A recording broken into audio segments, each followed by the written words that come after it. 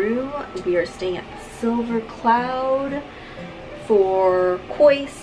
Um, I'm here for the 165 course, which is a combination of the first two courses for Kois here in Seattle. And it's an entire week. So it's actually Sunday night right now. Um, super late. I think it's like 10.31. And this is my room.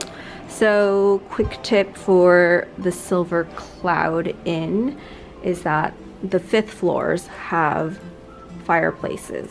So I got in quite late and classes start at 7 a.m. every morning, Monday through Friday. Uh, so I'm just gonna like wash up and go to bed. Good morning, it's around 6.30 Monday morning, so I'm getting ready to go. It's about a seven minute walk, that's what Google says. And um, let me show you like how dark it is outside. Cannot believe that we are starting class every day at 7 a.m. This is how dark it is. Oh, I forgot to mention yesterday that the airport's only like 20 minutes away from this hotel and this hotel is right across the street from Kois. So it's really like convenient the way that everything is um, situated. Let me show you guys a few things that you are supposed to bring to Kois. So you don't just show up and ask for your CE credits, you have to do a little bit of homework and um, let me show you what those things are. Okay, so before you come, they want you to bring a model of your teeth. So I actually had mine digitally printed. I think this is okay. I asked my mentor if this is okay. So, model of your teeth. I think we're doing some sort of mounting exercise with them. And then um, this is my Kois deprogrammer. So you have to have one of these made. I had mine made by Frontier.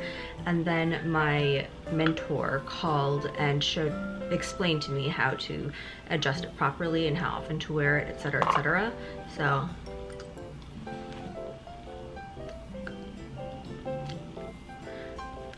you're just supposed to wear it every single day, um, morning and night. It's just like Invisalign, you only take it out to eat.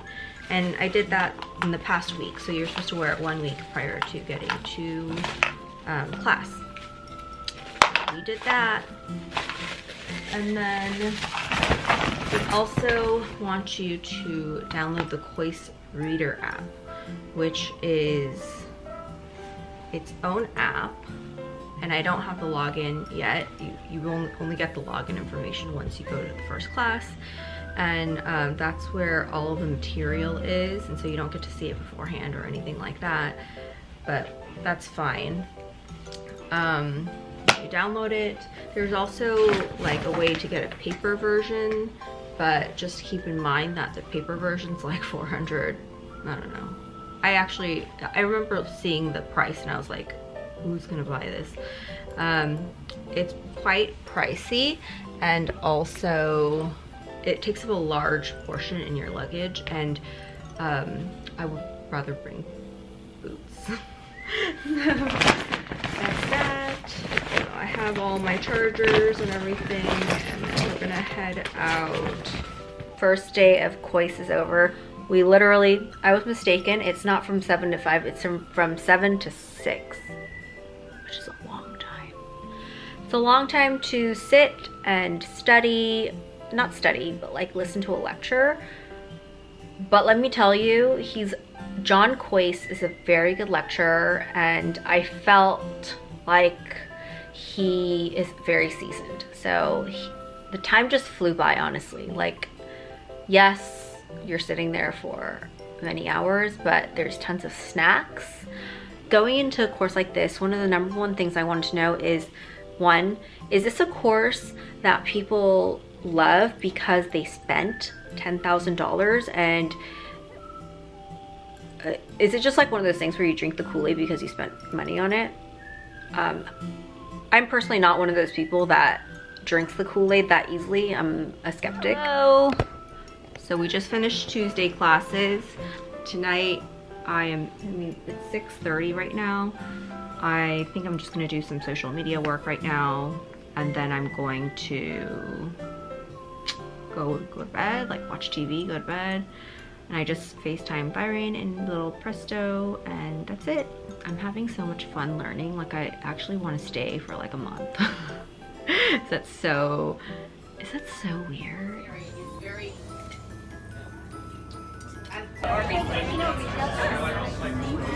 Hello, it is Wednesday night. It's like 10 o'clock and I'm about to head to bed. Today what we did was, what did we do? God, we went more into occlusion. It's like one of those things where he just slowly builds and builds and builds on things and you you kind of leave the day feeling like, oh my God, what did we learn today? a lot of what we were doing today was using the deprogrammer. We also learned to use the Kois glasses um, and take photography, proper photography for the Kois glasses as a reference so that we could make digital mock-ups for patients. So I don't know how many like actual patients would be watching a vlog like this. It might be totally boring for someone who's not a dentist, but um, this is how you stay like top, tip top. Because new technology comes out all the time and it's not like we're in school where we learn all the technology. Like we actually have to go out and learn all the technology ourselves. Um, so it was pretty cool having that. Good morning, it is Thursday morning. I'm gonna try to leave a little bit early today so I can show you guys the inside of Kois. And here we are, the Kois Center. So there's a dental practice here, I guess. Um, you go that way, it's a dental practice. And this way, right here is the teaching center. Over there, Burt, is where we eat every day. And they actually like feed us really nice, good food every day. It's like super fresh and delicious. All right, let's go in. Okay, this is the classroom. And this is my desk It's kind of a mess because I left it like this yesterday, but when we first came in, it was very, very organized. You get to take home a lot of stuff, like this. You get to take that home. It's like a polishing kit thing. We each get our own Kois glasses. We did an, uh, a project yesterday, and this desk is really comfortable. This button is like a heater. A heater. So like if you're really cold sitting, then you just turn this on. Boop, and then there's like a, a foot heater that turns on. Isn't that crazy? And then in here, there's the Kois glasses, there's tractors. Um, they have, there's like pens and things which are all on my desk right now there's these models. So like we work through all these cases. We only worked through two actually so far. But, and then this is like a little motor thing. And down here, we're able to access the motor and then there's like a rheostat down there as well, built into the desk. And lots of snacks. and so they, because of COVID, I think he was saying that they give you like a whole bucket of snacks now, but then they have them all in the front. So like there's like bagels and tons of like drinks and things like that. And I'm at desk 17. Hello, happy Friday. It's the last day of Kois. Oh my god, this is what I'm wearing super comfy because I'm going to the airport um, right after class. So um, class on Friday is also from 7 to 6. um, so actually he did say that he, we're probably stopping at 5.15. Um, I actually asked one of my friends this when I was booking my flight, but he said that a lot of people come on Friday with their luggage and they go to the airport right after, which is what I'm doing. And so I'm I have to check out at the hotel right now. I packed all my stuff and I'm taking it all to Kois. This is my sim lab mate. What's up? Hi. They're both from Canada. This is my certificate. Yay! This is my certificate. Look at me. Last day, last day. That's Dr. Kois. Zoom in on him. He's getting mentally prepared to just kill it today. He always kills it. Like, I don't know how he has so much energy. At the airport is currently 6.30 and I'm heading back home. It's all over. Hello everyone, so I am back home. We're gonna sit down and answer some questions about my experience at the Kois Center. This is a course that I've been wanting to take for a really long time, but it's a $10,000 course just for 165, which is the first two classes in the curriculum. So if you were to finish the entire curriculum, you could be like at $50,000. And this is after dental school. Most people I know still have dental school loans. Um, yeah, I guess the overlying question is, is it worth, is this $10,000 course worth it? It's even more money if you're from Canada.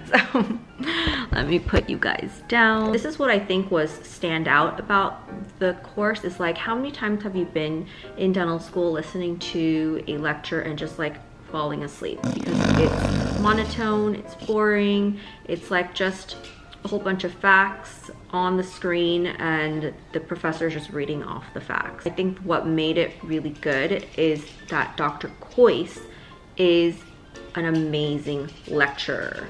So I came to the course all prepared with you know, my eye pencil and everything. I was like, I'm gonna take notes because that's what I did when I was back at school. That's the only way I could stay awake or stay focused. And in this course, you actually don't even need to take notes at all because Dr. Kois is explaining everything to you. What's in the manual is everything broken down so that you can just sit and listen. So that is the level of education that you're gonna get there or the quality of the speaking that you'll get there, which is very different than what I'm used to. Actually center this more. And I think that's why a lot of people go and spend extra money at, even after paying $500,000 for their dental school education. Okay, so at least there's three questions that I think most people want to know is it worth it if you're an associate? Someone also asked like, at what part in your career path is a course like this worth to take? I take 50 CE courses and throughout my entire career, I started off just doing the CE courses just to get the CE courses. At a certain point, I think my mind shifted a little bit where I realized in the last 10 years of doing continuing education courses, the quality of the courses were so fragmented. You know, you could do like one hour here, one hour there. They're all different people and they're all different subjects. And like at the end, I walk away and I feel like I didn't really get anything from them. I spent the time, but I didn't learn that much. This is the first CE course I think that I've prioritized the quality in where I left home. I have an 11 month old baby. So I left him at home with my husband. I closed the office halfway and I flew and I was there for an entire week. That is a huge, huge commitment. But I think it's worth it because whether we like to believe it or not, um, there are different levels in quality in a CE course. And if you think about it, if you go to one course and every single day is for an entire week is built on each other, you're gonna come back with that amount of time that you spent being way more worth it in terms of what you've learned. You're actually learning systems um, instead of factoids. I think that this type of education is worth it, you know, but it always comes back to what is it something that you can implement? If you're an associate, mo most of the time you can't implement this. If you're planning on opening a practice, then I think that is 100% it's a no-brainer um, taking the course because you're going to be able to implement it. But when you're associate, it's a little bit tougher. For me personally, I think the best thing to do if I was a new dentist is start working, get my hands wet, um, build the speed, work in a few different styles of practice and see what's out there. And then maybe at about a year or something like that, I would take a course like this. And taking a course like this after you have a little bit of educate or um, a little bit of clinical experience under your belt, I think would land um, more for me. Like it would be infused in my brain because every time he would talk about a, cer a, certain situation, a specific patient would pop into my mind like, oh, one of my patients is like this. I wish I took this course years ago. I wish. Something that you would need the power to do in order to start practicing in the way that he wants us to is to implement the new patient forms, the medical history and the dental history. And if you cannot do both of those things, it'll be very hard to um, get started on this because it all starts with the patient's medical and dental history. If you're in a situation where you can um, implement those two forms, then it this course again is a no-brainer. But if you don't really own the practice or you work for a DSO, it might be a little bit tougher to implement this into your practice or start utilizing the information that you learn. Still worth it to learn the information, but a little bit more difficult to implement. Here's something that I think makes this course worth it that people don't really talk about is that every single person gets a mentor.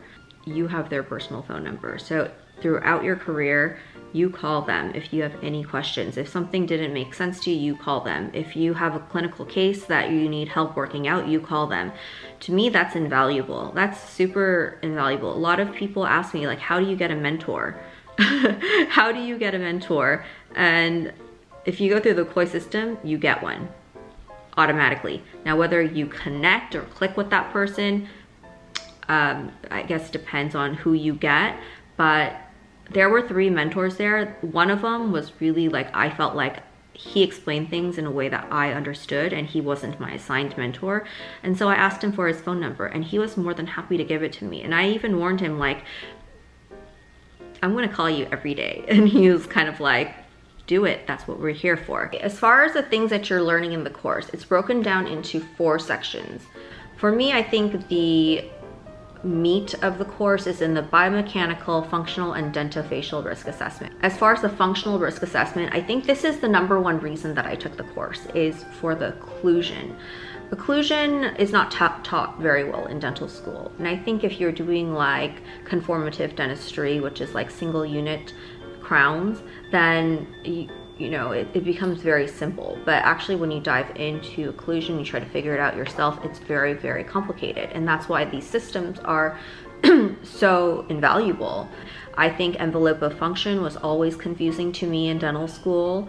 Um, and um, envelope of function is a huge important part of figuring out why, you know, people are breaking their teeth or, you know, having problems. So um, I think it was really, really interesting to actually be able to categorize the the occlusal, occlusal you know dysfunction that patients most patients have. And be, from then you can figure out how to help them back to health instead of putting a night guard in them. You know knowledge is power. So the more that you know the better of a dentist you can be for your patients.